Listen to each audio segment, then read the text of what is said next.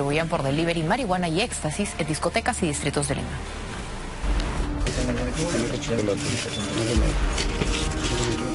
Envuelto en aluminio, camuflada como si fuera una chocoteja pero rellena de droga. Así vendían su ilegal mercadería por delivery en discotecas de San Juan del Urigancho, el Cono Norte y Sur.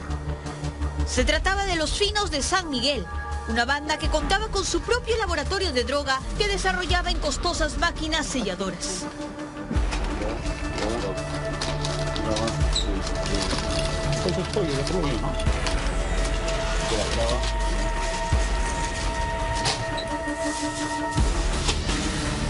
A través de un seguimiento al que realizaba el delivery, la policía logró dar con esta vivienda ubicada en la urbanización Maranga en San Miguel.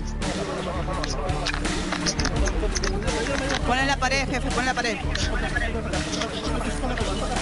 Los chalecos.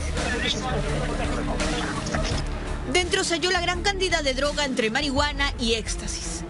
Se ha intervenido a cuatro sujetos, entre ellos se ha capturado al cabecilla, que responde al nombre de Guillermo Andrés Mejí Chaparro, conocido con el alias Piqué, y se, se ha decomisado más de, más de mil pastillas de éxtasis.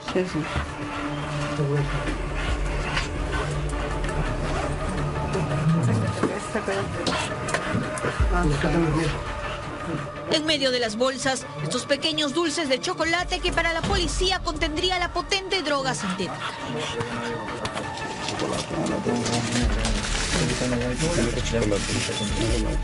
Lo que sería éxtasis también. O sea, tenía chocolate, almendra y lo hemos remitido casualmente al laboratorio a fin de que determinen pues, qué composición esté. No descartamos que también esté, eh, se haya, haya sido preparado con este, esta droga de lo que es el éxtasis.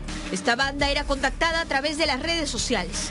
Todos fueron detenidos y serán investigados por el delito contra la salud pública. Un comisario de la Policía Nacional